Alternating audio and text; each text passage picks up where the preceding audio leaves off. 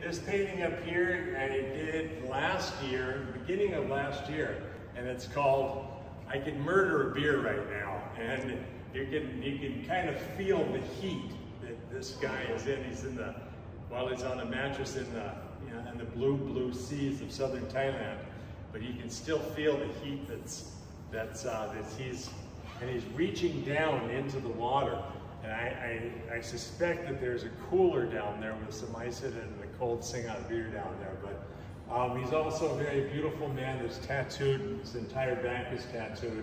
And he's such a beautiful man that all of the animals of southern Thailand jungle, like the snake here, they want to they want to woo his attention. So the snake is giving him a diamond, the the the lily is giving him the lily flower, the lotus here, the, the fish is giving, coming up from the bottom of the, the lake and giving him an anthurium. Now I don't know where that anthurium came from, but that's what's, what's happening here. There's a bird here whistling and, and playing a nice song as well as a dragonfly. And he's sleeping all the way through it he's just thinking about where the heck can I get my next beer from?